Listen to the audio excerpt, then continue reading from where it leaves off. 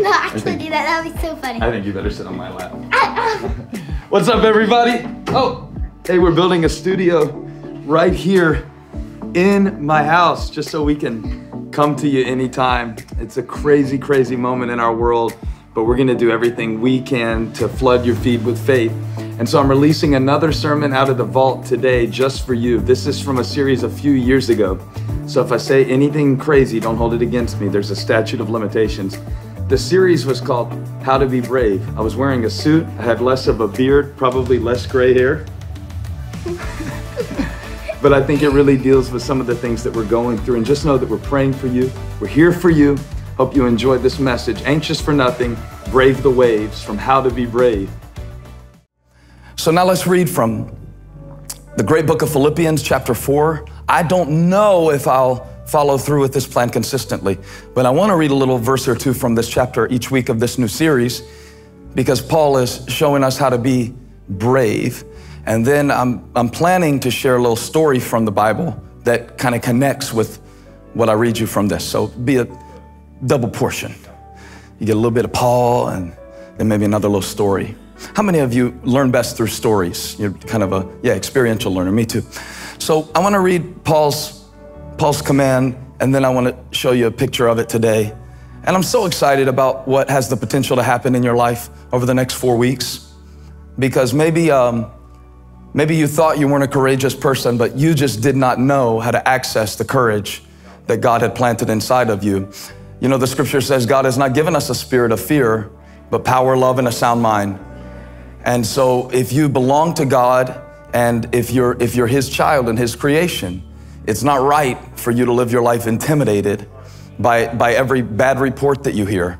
And we're going to talk about a lot of things in this series, but this week I want to focus on kind of one word and, and one sensation from Philippians chapter 4 verse 6. Paul says, and I'm going to read this in the New King James version of the Bible because I uh, originally learned it in that version. And so I want to read it to you in that version because it's what I'm most familiar with. He says, "Be anxious for nothing." How you doing with that? Be anxious for nothing. And so, you know, we got we got to talk about that in a minute. And he says, here's how you do it. But in everything, everything, by prayer and supplication, with thanksgiving. Now, I reckon, to use a good Southern word, one of the reasons we're so anxious about what's coming is because we're not thankful enough for what we already have. And so Paul says, if all you ever pray about is what you need, but you never stop and thank God for what you have, you'll always be anxious.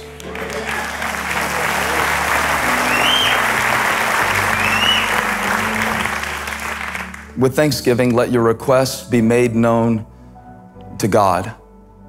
And the peace of God. I want some more of that. That's the stuff I'm after. The peace of God. A peace that the world can't take away because the world didn't give it. A peace that the economy can't take away because it's not rooted in the economy. Listen to it. You're going to love this at University City, which surpasses all understanding. So it means sometimes things won't even make sense in your life. And people be wondering, how are you holding it together with what you're going through? But I don't know either. It's just an unexplainable, supernatural, life giving peace that comes from God. Will guard your hearts and minds. Holly, I had a thought this week. Paul was writing this verse from a prison cell. It's kind of hard to talk about peace and being unanxious. Is that a word? When all you see around you is bars and iron. But I wondered when he was, this is the end of the, the passage. Look, I wonder if when he got to this part, I wonder if he looked up and saw guard standing outside his cell and he's like, the peace of God will, what will it do? It will guard. Cool. Like this big dude standing out outside of this cell, making sure I don't get out. The peace of God will stand uh, guard around your life and make sure that, that what gets in is only what God sends. Will guard your heart and your mind through Christ Jesus. Through Christ Jesus. How many of you want verse 7? The peace of God. All right. To get verse 7, we got to go through verse 6. And I want to speak to you on that phrase today. Put it back up, please. Be anxious for nothing. Be anxious for nothing. Turn to the person next to you, and uh, you can turn to three people actually, and in case the first one is unresponsive. And just preach to them for a moment. Say, I wanted you to know you're anxious for nothing. I wanted you to know you're anxious for nothing. I wanted you to know you're and you may be seated. Thank you, worship team. Thank you, Brian. Anxious for nothing. That's my little title today. Simple title. Oh, it's dark. Hey, whoa. What was that? Let there be light. You excited about uh, this series? You got a situation you're facing that that you need God to give you some boldness for.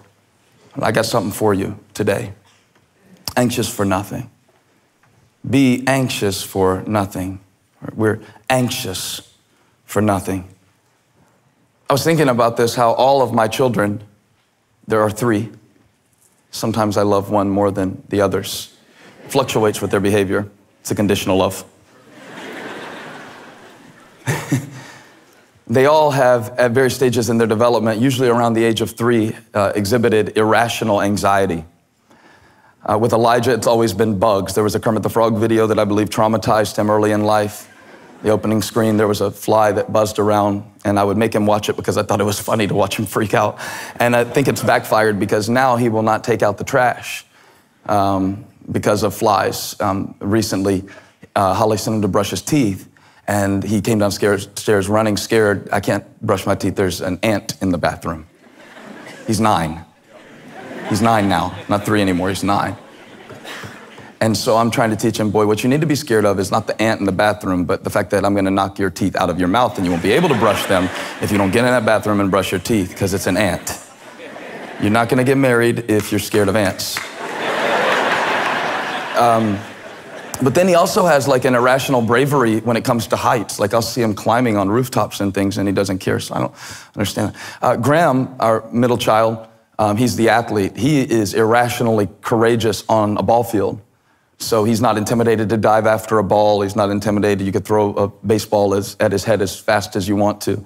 And, uh, and he's not scared of that. What he's scared of is robbers. And I know robbers are scary, but what I can't figure out is his frame of reference for this fear because he's never been robbed before. Now, it would make a lot of sense if, if he grew up kind of rough and, you know, had had several windows shot out or something like that, but, but I, I can't figure out. It's not like I ever made him watch Dexter or something, and, you know, he, I, don't, I don't know why. Um, he's so scared of robbers, but he is terrified of robbers. To me, it seems an irrational anxiety. Abby, our three year old girl, uh, bless her heart, she is anxious about everything right now, everything. And I'll give you two examples to prove that she's anxious about everything. Um, the first would be the Disney Princesses on Ice show that I took her to with Holly the other day, during which she screamed the entire time, I want to go home, because the show was called uh, Princesses and Heroes, Disney's Princesses and Heroes. But um, I kind of want my money back because they didn't title it correctly. It was a great show, but they, they, they forgot to talk about the villains. It's actually Princesses, Heroes, and Villains. And I know this because my daughter is terrified of every Disney villain, especially Ursula. Uh, from The Little Mermaid. And yes, I had a crush on Ariel as a boy. And yes, Holly knows about it. And yes, I've worked through it. But um, but Ursula does something to my little girl. Um, it's, it's, it's, uh, it's kind of unexplainable. The whole time through the, the people skating on the ice, she was grabbing at my arm and pulling my arm tighter around her, which was adorable at first. But after 20 or 30 minutes of not being able to, you know, check my phone because I'm bored to death watching people ice skate, to be honest with you, um, it's kind of annoying that she can't, she can't even cope without my arm being around her. So I'm like holding on to her. And then the Little Mermaid segment starts, and I'm excited, get to see Ariel, you know, childhood crush. and, uh, and, and, and, and, Holly, and Holly looks at me and goes, Oh no, she's more afraid of Ursula than anything in the world. And I, but, I, but I was so happy because Ursula never came. And I was telling uh, uh, Holly and Abby, I was like, see, Ursula never even came. And I was going to put that in my sermon about how Ursula never even came. About how sometimes you're afraid of something and it never even comes. And they did the intermission. And wouldn't you know, when I went to go use the bathroom and came back to my seat, the first thing after the intermission, see, I thought the Little Mermaid segment was done, but no, the lights go down and here comes Ursula. Sing, Ariel.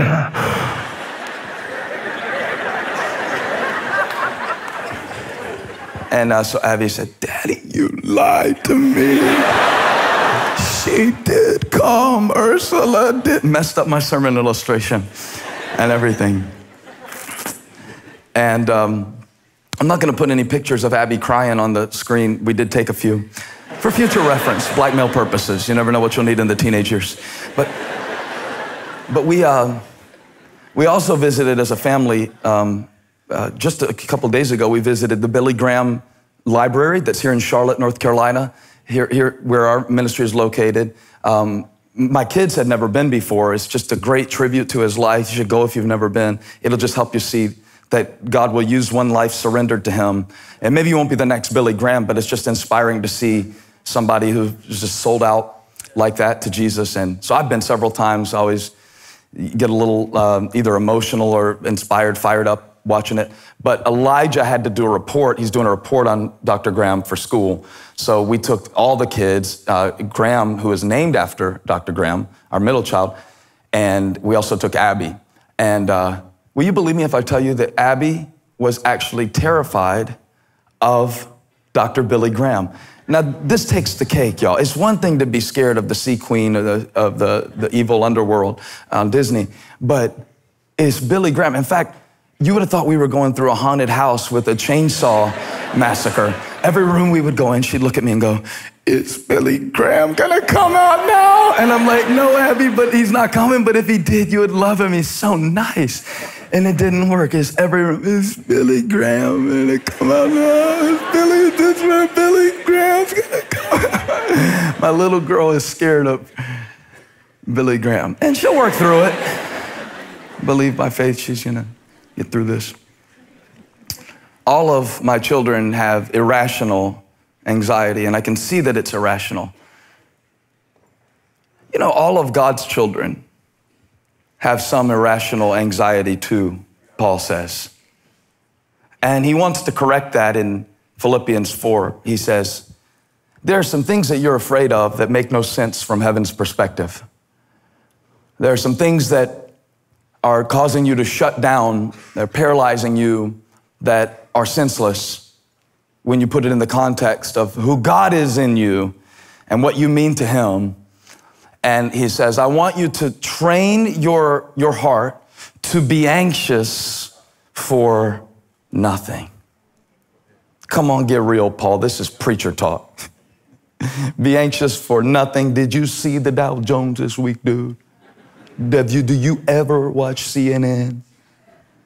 Haven't you heard about what they're putting in kids' Legos these days? And if our kids touch the Legos, they'll be exposed to chemicals that could cause them to have babies that are born with hairy backs. And don't you know the gluten and the, the Paul, there's a lot to be anxious about.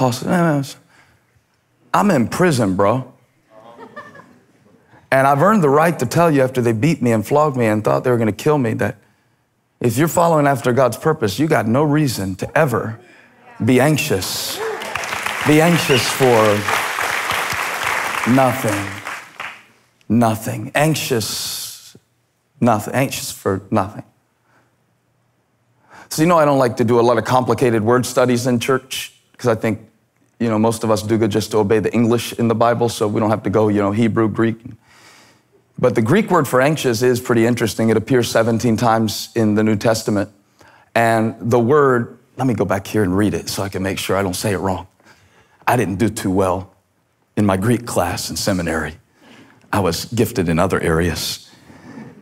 But the Greek word here that is translated anxious is merimnate. I spell it M E R I M N A T E.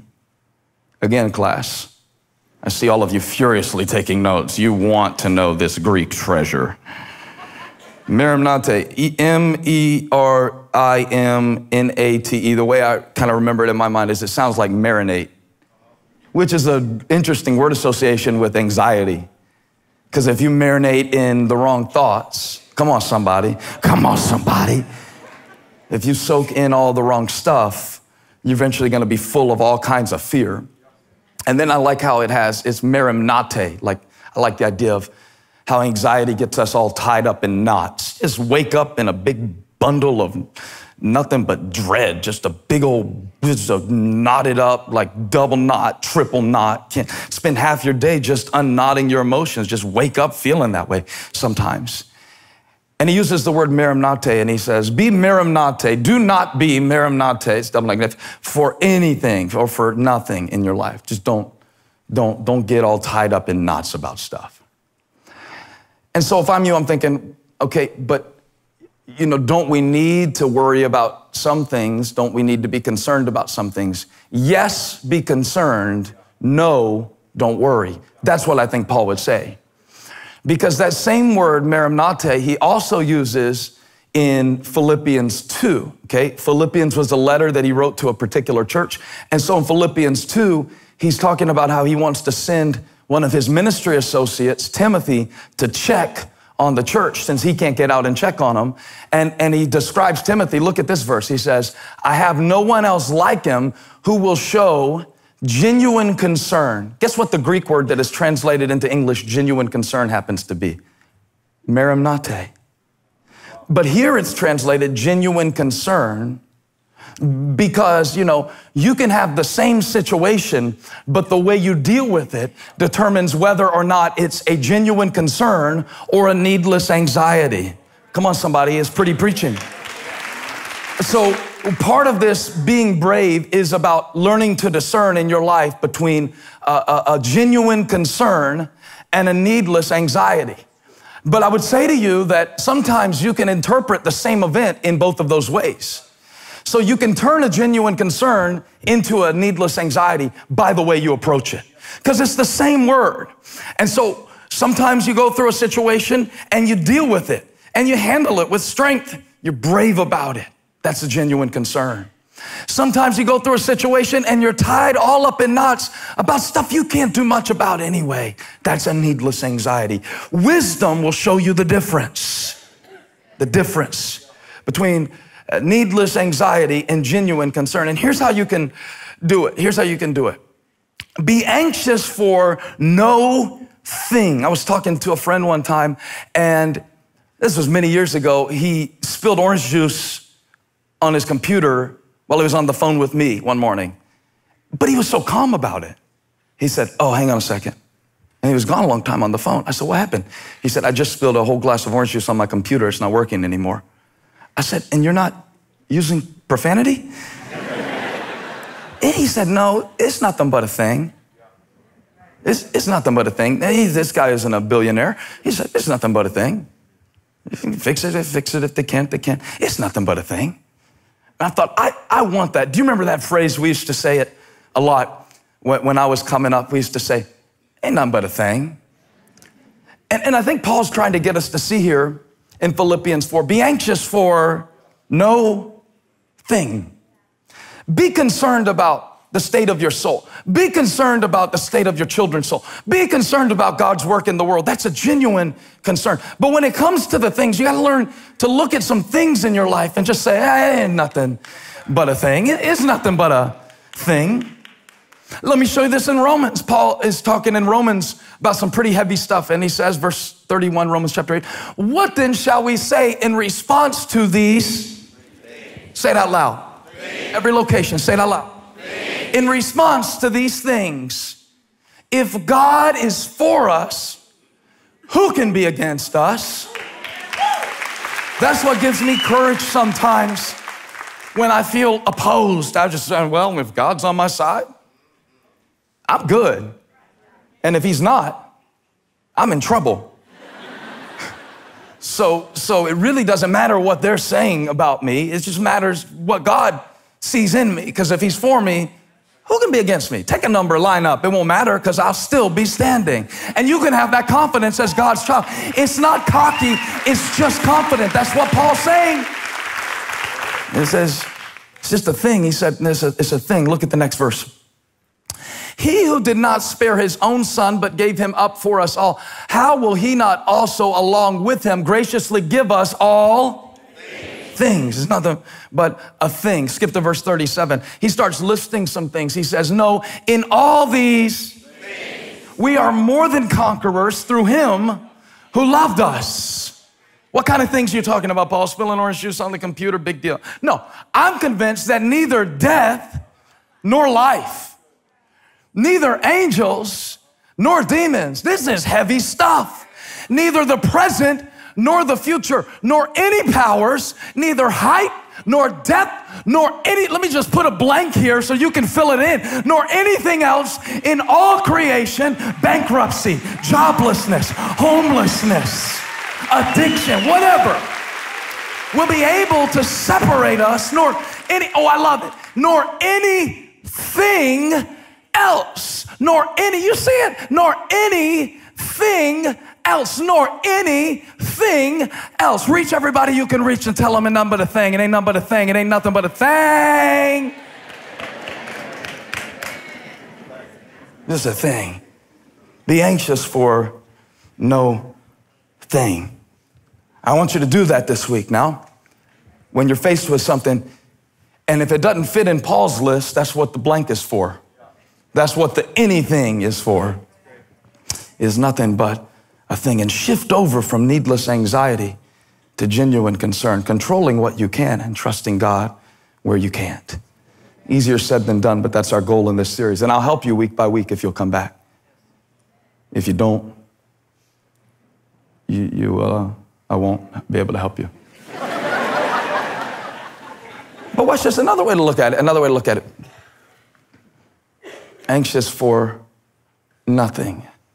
Come on, say it out loud. I'm anxious for nothing. Yeah, that's a good goal to have, right? But isn't it also a statement of reality about how many times in our lives we've been anxious for nothing? And think about it. It's, um, I'm just playing with the phrase a little bit. I enjoyed doing this. I was thinking, how many times have the people in our church, have I as a pastor, have we as a family been tied up in knots, merimnate, for something that turned out to be anxious for nothing? We were freaking out the other day because somebody that's close to me, they rent a home and one of their neighbors told them that the home that they're renting is about to get sold out from under them. And this person spent the next week freaking out, losing sleep, not eating very much. And I know you, you say, well, it's not a big deal, get another place. But this person is, you know, over the age of 60, kind of settled into this place and was just thinking, well, I don't even know where to go, I don't know what to do for a week till they found out that the nosy neighbor that told them the rumor had actually misinterpreted what the owner of the home had come by and said, which was, if my husband died, I could see myself maybe selling the home one day. Now, you know the telephone game where I tell you something, you tell her, and she tells her, and he tells him, and she tells, and by the end of the row, it gets from, if they die, then one day I might sell this house to, we're gonna sell the house tomorrow, you need to find another place to live, you're out on the streets and it creates anxiety. And I was talking to this person, they said, I wish I could get my sleep back that I lost for nothing. I wish I could get all that, that, those moments that I was planning about stuff and scenarios that weren't even upon me yet, that might be upon me. I like what Joyce Meyer says. She says, Worry is down payment on a problem you may never even have. Thank you, Joyce. We appreciate the help because sometimes you're anxious for nothing. I go out of town um, for a couple weeks every summer in June because you get tired of my preaching. You need to hear other people, and so I go away and I, I don't. And but while I'm gone, about the first week it feels good, second week feels good, third week feels good. But about the fourth week, I'm freaking out because I hadn't been to church and I don't feel. I wonder like, is the church still there? Are they still showing up? And I watch online and stuff, but it's just not the same. And I'm like, is everything cool? Has Ubaka started a, a, his, his, own church uh, while I was gone? And I don't ever wonder that. He's awesome, but I'm just saying like your mind can go to all these crazy places, and it's like what, what's going on back home at the church? And this this summer we were gone, and I sent a text to one of our team members um, named Chunks. And I know his name is Chunks. And uh, I sent a text to him, and uh, I said, Everything cool back home? And 10 minutes went by. 10 minutes in, I'm thinking, oh no, there, there's, there's, and I have some scenarios. 30 minutes went by. This guy usually responds quick. I pay him to. An hour went by. By the second hour, I had so many scenarios in my mind. I won't mention them to you here, it's a little embarrassing. Let's just say there was no church left. All of our campuses had simultaneously burned to the ground. The fire department didn't get back in time. And then two hours later, I finally get a text, like two hours, 10 minutes later, I finally get a text. So sorry I missed you, been in the mountains, no cell signal. Everything's never been better. I forgot it was Friday. It was the day off back home for our church staff. And here I am with my family on vacation, anxious. Why aren't they responding? Must be something wrong. Must be something real wrong. It's never taken them this long before. I'm going back and checking the timestamp on the text. Did it go through? It went through. It says it was delivered at 12:57 p.m. It was on. What's going on? What's going on? Uh, uh, uh, maybe I should get back on a plane. Maybe I should charter a flight. I can't wait for the commercial one. I gotta get back home. For nothing. I told you a, a, scripture and a story. Turn to the person next to you say, You're anxious for nothing. A lot of the times, most of the time, you find out later, all that was for nothing. so one day, Jesus wanted to go on a trip, and he, he has his disciples prepare to take him where he needs to go. Look at Mark 4:35. It says, That day when evening came, here's the story he said to his disciples, Let's go over to the other side. Everybody say, other side. other side. Okay, remember that phrase, it'll come back in a moment. Leaving the crowd behind, Jesus has been teaching all days. He, he taught the parable of the sower and the soils and how the farmer goes out and scatters seed and some of it produces good fruit and some of it doesn't produce good fruit. And, and it just depends on, you know, whether or not the soil is good or whether it's thorny or whether it's rocky or whether the birds come and eat it.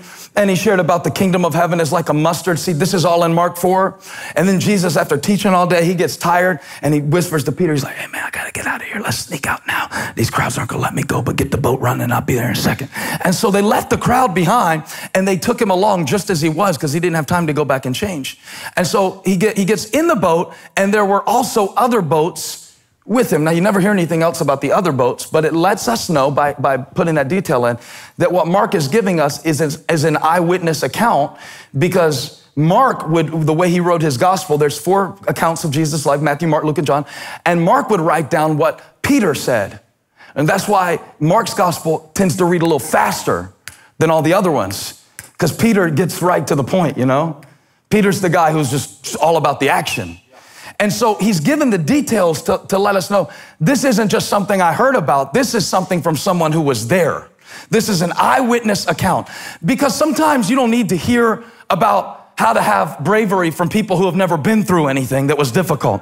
Sometimes you don't want to hear advice from somebody who's never been through a broken season in their life about God's healing or who's never faced down a giant about how to stand in strength. So this is an eyewitness account now of a time when the disciples of Jesus were anxious for nothing. Now check this out.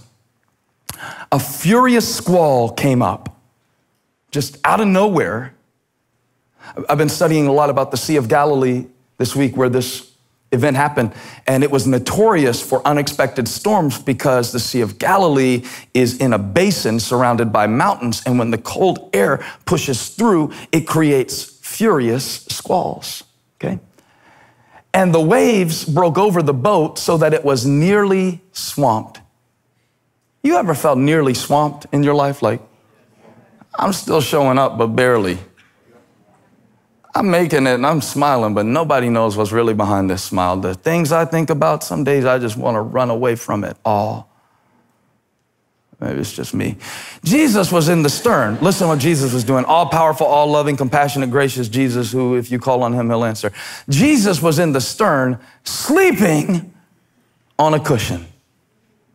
I love the Bible's sense of humor. And the disciples woke him and said, Teacher, don't you care if we drown? Don't you want to live? Don't you want us to live? Harkens back to the book of Jonah, doesn't it? Where Jonah, the prophet, was running away from God in Jonah chapter 1, verses 5 and 6 and a great storm came upon the ship because Jonah was running away from God. And sometimes God will send a storm to get you back to the place and reroute you, to get you back on your assignment. You ought to thank God for some of the storms He sent, because if He hadn't sent the storm, you'd have ended up in the wrong place. You were headed the wrong way, and He used the storm to turn you around. And, but in Jonah's case, it says all the sailors, verse 5, were afraid and each cried out to his own God, and they threw the cargo into the sea to lighten the ship. But Jonah had gone below deck where he lay down and fell into a deep sleep. And the captain went to him and said, Man, how can you sleep? Get up and call on your God. Maybe he will take notice of us so that we will not perish. And I'm thinking, man, Jonah was sleeping because he was complacent and didn't want to pursue God's purpose. Jesus was sleeping because he was confident and he knew I'm right where God wants me to be.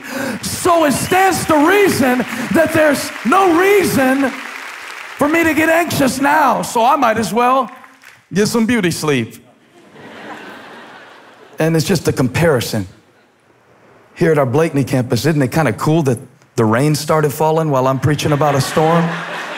I don't know if you can hear it at the other campuses, but I just think it's kind of cool. Like a sound effect that God wanted to give us an audible analogy for what's going on in some of our lives today that some winds are blowing and some waves are breaking and some things are happening and some uncertainties popping up and some difficulties you're facing and, and you don't know what to do and Jesus, watch, seems to be asleep in the stern. And you wonder, don't you care? Aren't you supposed to be the one who keeps my life out of trouble? But you told me to get in the boat. Because, see, I have this theory, okay? Jesus, in this situation, he tells the disciples, get in the boat, we're going to the other side. And the next thing that happens is a storm hits. Now, for anybody else, you wouldn't think anything, but Jesus is the one who created the world and he probably knows the weather patterns. so it kind of bothered me that he sent them into a storm. Sometimes we create our own storms, though, don't we?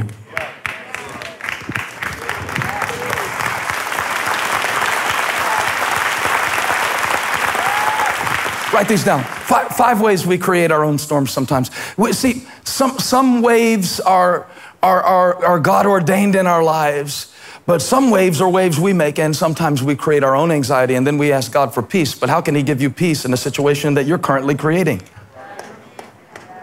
And so I, got five things for you. Uh, just real quick, I won't take long on them, but number one, often we create anxiety and waves in our lives with the words that we speak. Just write that down words words. Have you ever made unnecessary waves with your words?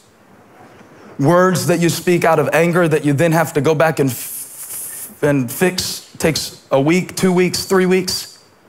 Words of doubt, words of some of you, just you frame your day with the wrong words, and then you're disappointed with the world that you've built, but your world is created by your words. And sometimes we make waves. You know, we create choppy conditions in the morning just by the way we get up talking. It ain't one thing, it's another.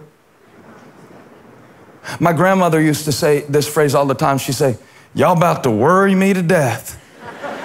And she'd say it about anything. You know, the TV's too loud. Turn that TV down. Y'all about to worry me to death.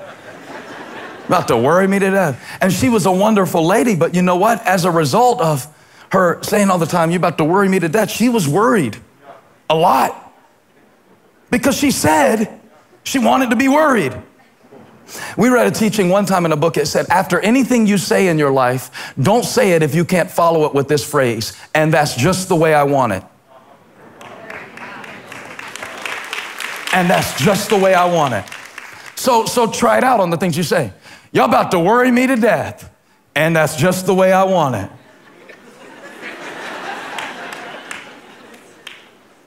I'm just running around like chicken with my head cut off. I'm so stressed out. And that's just the way I want it. You got your own phrases. But the words we speak create waves of anxiety. Check your words. Number two, your approach. Sometimes it's not what we're going through, it's the way we're going through what we're going through. Some of us live with no margin, and so we're always nervous. It's our approach. Anxious about money because we spend too much and don't make enough. No margin. It's your approach.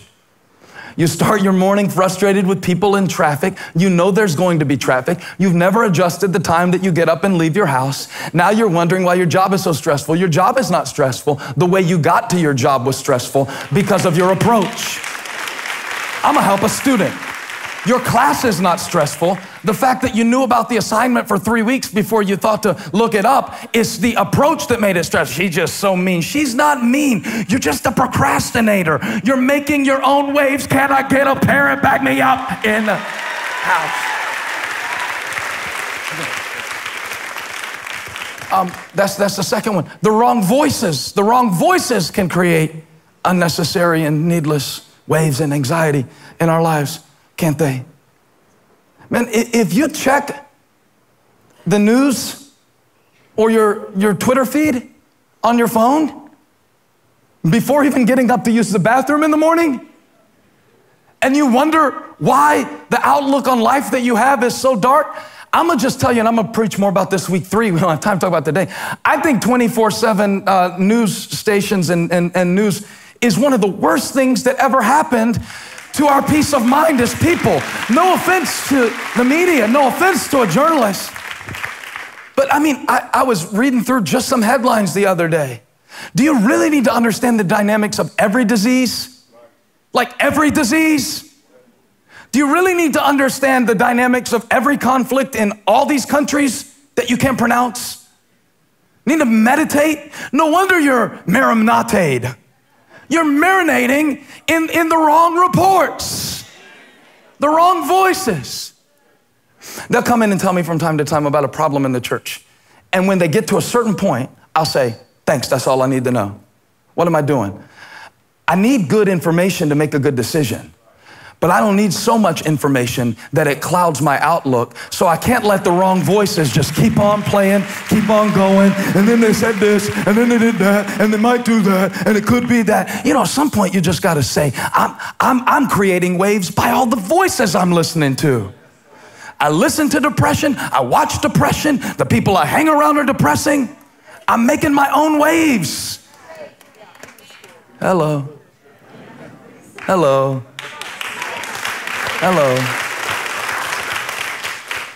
Our expectations can create waves. I love how Lysa TerKeurst taught us over the last two weeks. Wasn't that good? About not overcommitting, about making sure we make decisions with wisdom. Look at this.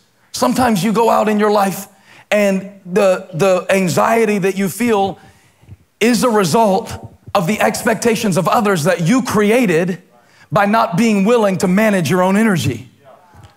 Sometimes the anxiety we feel is because we get up in the morning and we don't expect any battles that day.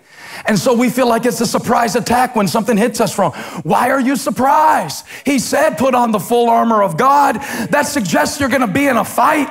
He said, take up the helmet. He said, take up the shield. He said, take up the sword. He said, you got to get dressed for battle when you get up in the morning. Don't be surprised. You, you need to learn to expect some storms. I think the fact that it's unexpected is often the reason it's so difficult. And then there's the, the master wave maker in our souls. It's called shame. Shame. Shame. You walk around anxious because you're hiding stuff. And you wonder when are they going to find out about my secret? Or maybe because you're tormented by something that God already forgave. See, there's a difference between conviction and shame. Conviction is good, it shows you what to fix, and it gives you God's power to help fix it. Shame tells you that because of what you did, who you are is now fundamentally changed. And it makes you walk around paranoid. And it makes you walk around feeling helpless. And it makes you walk around feeling like people don't love you who do love you. And people are judging you that aren't judging you. And you got to learn where to take your shame or it'll just rock you waves. And they wake Jesus up and they say, Don't you see the waves? Don't you care if we die? And so, verse 39 Jesus got up,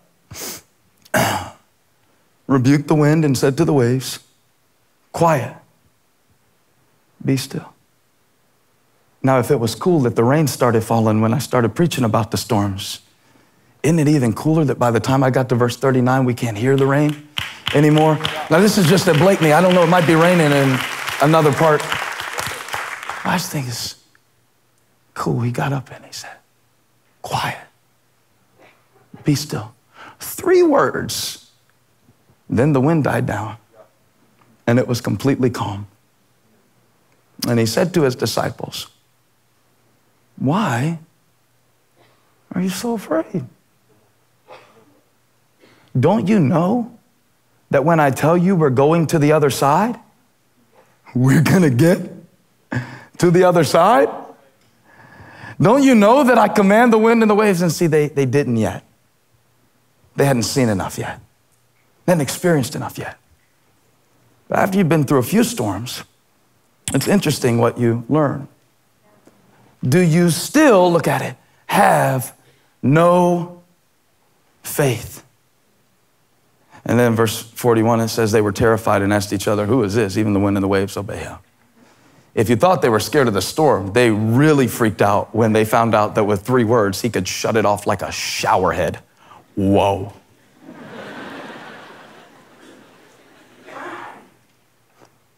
so I want to I want to suggest something to you today about the storms of anxiety in your life and the waves and the winds that are blowing in your life. Because, man, the winds will blow.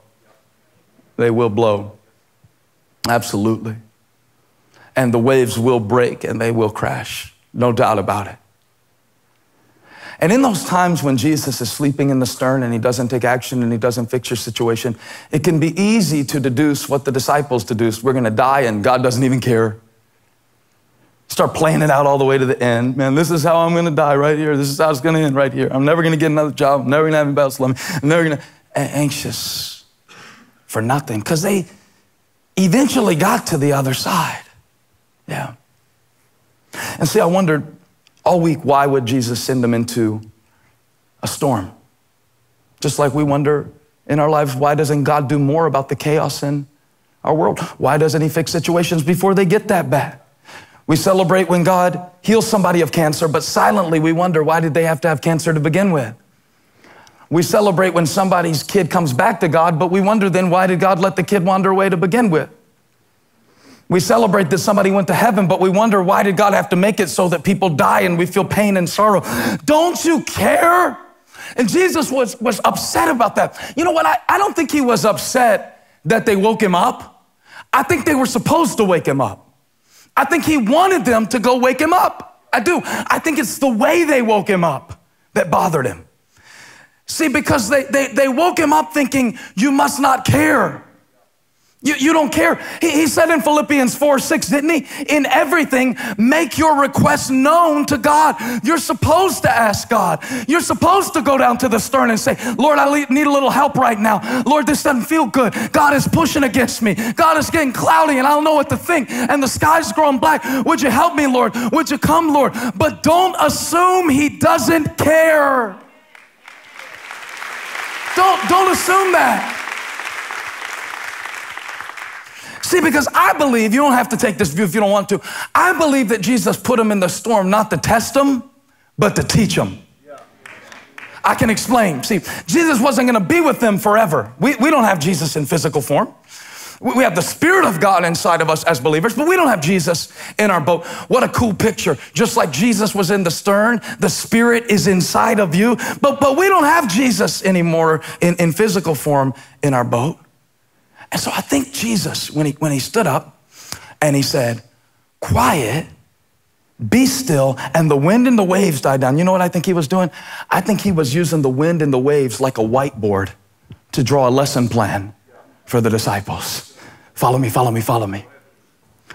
Because the real waves that take you down in your life are not the ones out there, they're the ones in here.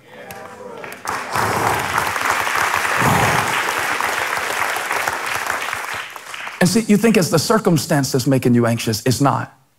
You think it's the other person's reaction. It's, it's, how do I know this? James chapter 1, verse 6. James chapter 1, verse 6. He says, When you ask God, You must believe and not doubt. Now, watch what doubt does. Watch what doubt does. Because the one who doubts is like a, you see it? Like a wave of the sea, blown and tossed by the wind. Ah, that's why God lets me experience winds and waves in my life so he can teach me to calm the wind and the waves within. See, the real waves are within. And you'll never have peace until you learn how to speak peace to the waves within. So Jesus said, Watch this. He said, Be still. And the waves shut up. And he said, Now it's your turn. What I just did to the sea, I want you to do to your anxious heart. And the next time the winds of what if start blowing and the winds of imaginary scenarios and negative emotions start blowing, I want you to get up and wake up your faith from the stern of the ship and get out and hold up your hand and say, Quiet, be still. The waves within. Come on, I- am preaching about the waves within.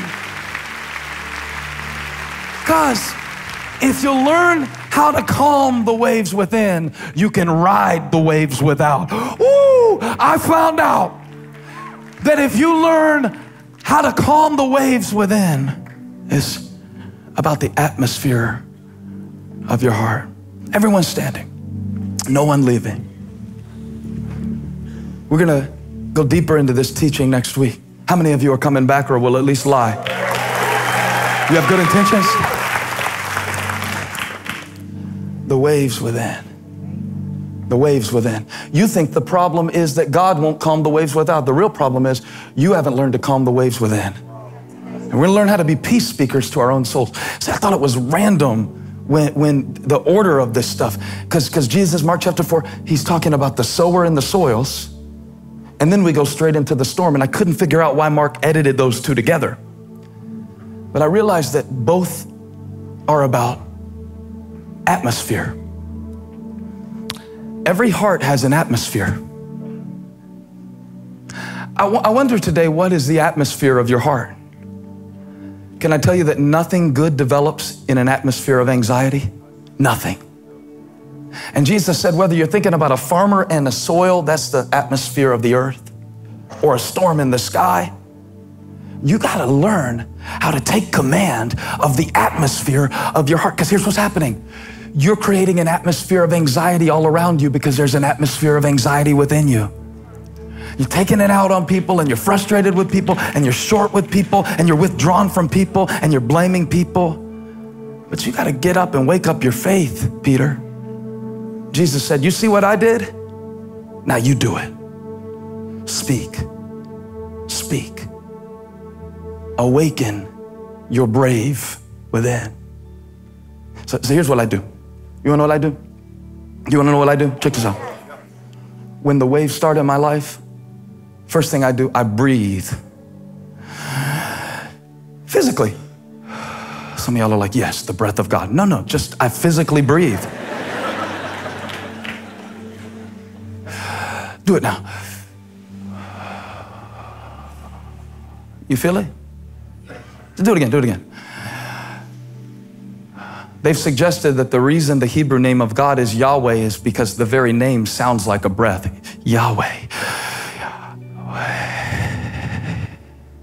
So that when you breathe, every breath is a prayer, reminding you that He's inside of you, sustaining. Just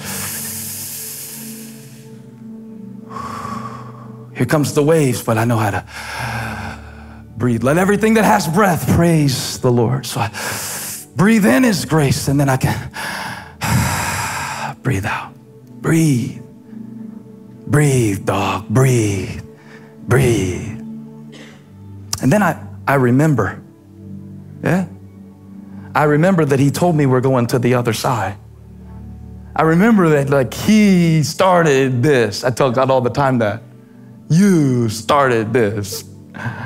And so I remember, oh, like David did when he was standing before Goliath. Wait a minute, just like the lion and the bear, God's about to take this joker down too. Breathe.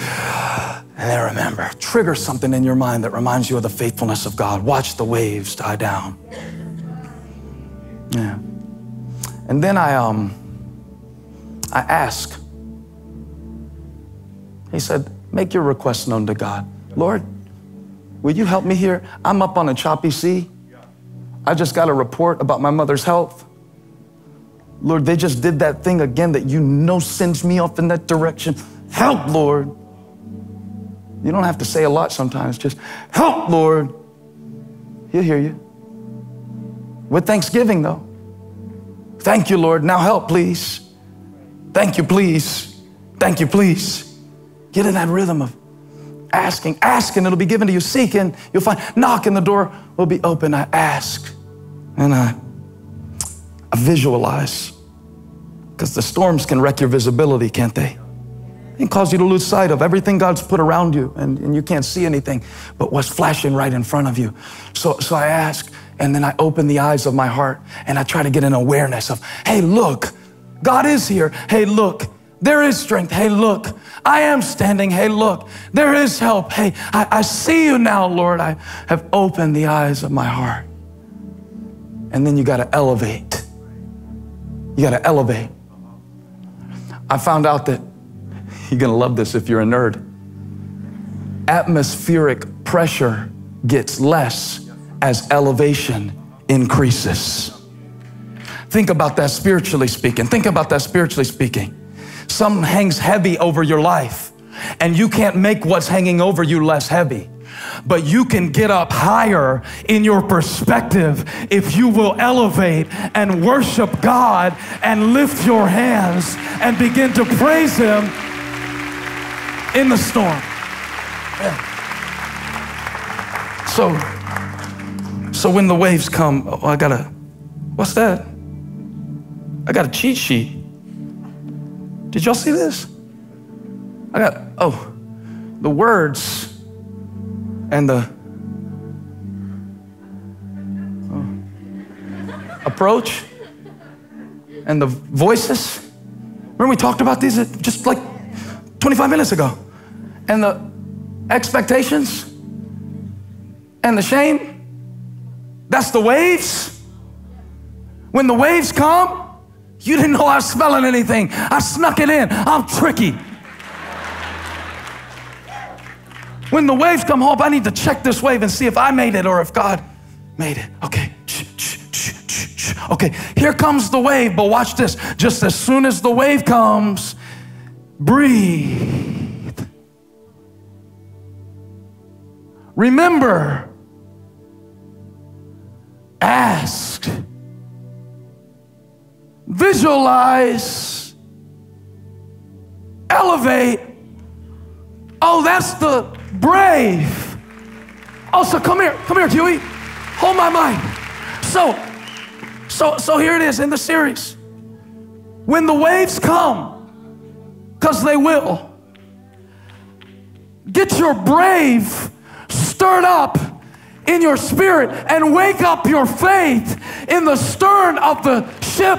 And, and when the waves come, because they will, here comes fear, here comes panic, here comes dread, here comes embarrassment, here come words, here come actions, here come voices, here come expectations, here comes shame, but here comes brave. And my God has given me the breath of life, and his spirit is stronger than any storm. I'm pushing back way. Come on, lift your hands. Lift your hands. Worship pushes back waves. Let the wind blow. There's a stronger wind called worship. Elevate your praise. Thank you for watching the Elevation Church YouTube channel. Don't stop here. Join the eFam, our online extended family, and join us live every Sunday. Subscribe to this channel so you don't miss a single video or live stream, and share this with a friend. You can also support the ministry by clicking the Give Now button to help us continue to reach people around the world for Jesus Christ. Thank you again for watching. God bless you.